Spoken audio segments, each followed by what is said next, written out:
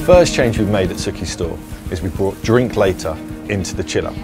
What is particularly important in Suki store is he has a huge influx of tradespeople in the morning. We know they pick up drink later format and have that with them for the whole day.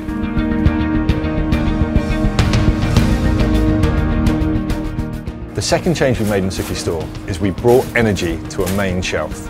Energy is a big seller for Suki. If we put that on a priority shelf with eyeline, we know that the sales will increase. A lot of retailers tend to range their drinks by supplier. We know consumers buy by category, so we've blocked the flavoured carbs, the colas, all together so consumers can find what they want more easily.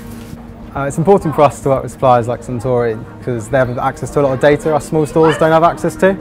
Um, so it's helpful as they give us a new perception on things, uh, on data that we just simply don't have access to. So for them to bring that over to us uh, is so helpful.